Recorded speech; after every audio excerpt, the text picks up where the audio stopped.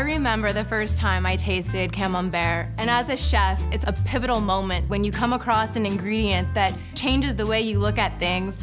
Camembert is from the Normandy region. It has a buttery texture, undertones of mushrooms. It's very versatile. Today I'm making a camembert gratin with potato and cauliflower. Half an onion, garlic, and I heat up some olive oil really hot. I let it saute until the onions become translucent.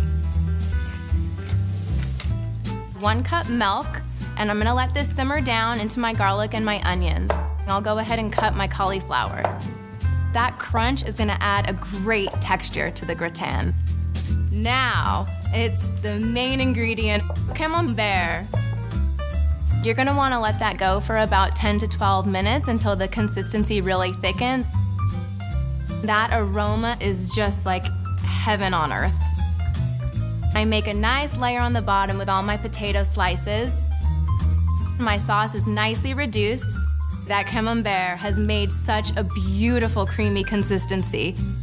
The finishing touch on top is your crunchy bacon. I cook it in the oven at 400 until your potatoes are tender and you can see that beautiful crisp on top. I cannot wait to try this dish.